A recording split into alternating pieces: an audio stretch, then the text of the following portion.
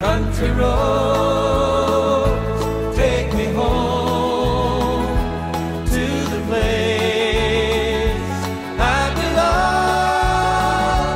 belong, West Virginia.